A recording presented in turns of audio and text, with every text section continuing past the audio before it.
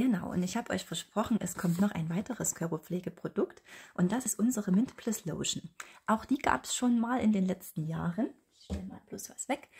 Ähm, und das ist auch ein cooles Produkt für den Sommer, denn die ist für die Beine gedacht. Bedeutet, durch den Minzextrakt, der enthalten ist, habt ihr einen kühlenden Effekt.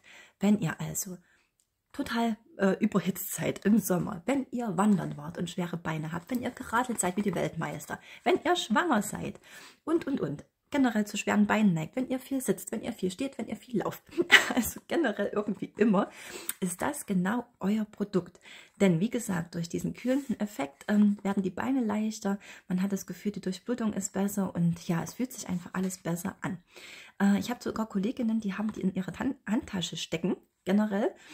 Und nicht unbedingt nur, weil sie schwere Beine haben, sondern weil sie Migräne haben. Und da nutzen die nämlich diese Lotion, um die hier für ihre Schläfen zu nehmen, wenn gerade mal wieder so ein bisschen was Unangenehmes in Anmarsch ist.